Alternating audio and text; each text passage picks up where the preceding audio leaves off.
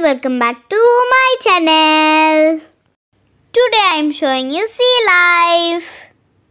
Here you can see so many fishes and turtles and seahorses.